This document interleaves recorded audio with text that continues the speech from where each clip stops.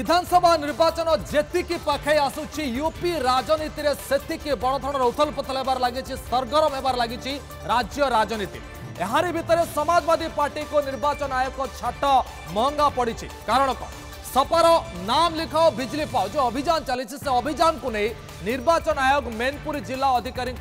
report मागिंट Samajwadi party सरकार गढ़ले तीन यूनिट पर्यंत विद्युत मगणा देवाई प्रतिश्रुति ଯାହାକୁ ନେଇ ଅଡୁଆରେ ପଡ଼ିଛନ୍ତି ଏବେ ଅଖିଲେଶ ଯାଦବ କାରଣ କ'ଣ ଅଡୁଆ କ'ଣ ହେଲା ଉତ୍ତରପ୍ରଦେଶ ନିର୍ବାଚନ ପାଇଁ ସମାଜବାଦୀ ପାର୍ଟି ଇସ୍ତାହାରରେ ତିନିଶହ ୟୁନିଟ୍ ଫ୍ରି ବିଜୁଳି ପାଇଁ ଘୋଷଣା କରିଛନ୍ତି ଅଖିଲେଶ ପ୍ରେସମିଟ୍ କରି କହିଥିଲେ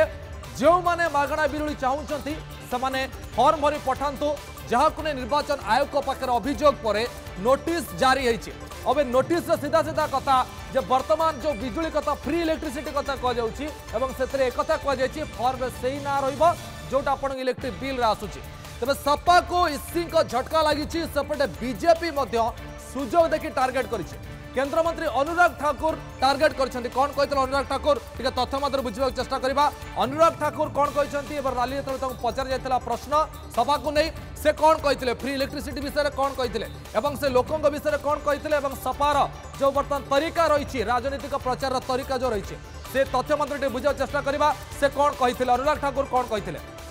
ये कौन मागणा बिजुली देवे दल एवं अंधार को जाऊँगी अनुराग ठाकुर का बयान थी सपा प्रति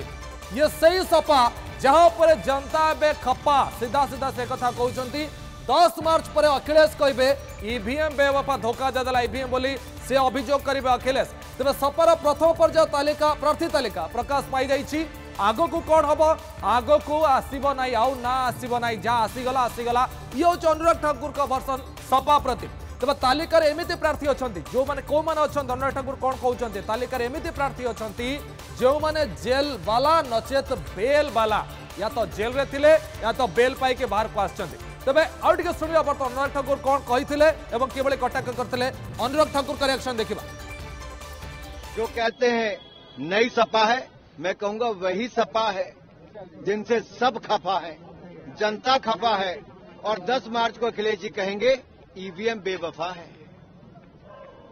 और मैं एक बार फिर कहना चाहता हूं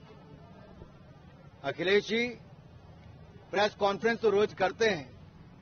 लेकिन सपा गठबंधन की पहली सूची के बाद दूसरी सूची नहीं आ पाई क्योंकि पहली सूची में या जेल वाले थे या बेल वाले थे सपा गठबंधन आज नजर नहीं आता है क्योंकि सपा गठबंधन की सूची में वो नाम है जो हर पुलिस थाने में जिनके नाम दर्ज है फेब्रुआरी दस यूपी रे प्रथम पर्याय मतदान एथपाई समस्त दल निज निजर प्रार्थी तालिका प्रकाश कर लगी पड़ते और सहित स्टार कैंपेनर प्रचार करेंगे किए किए तार तालिका घोषणा कर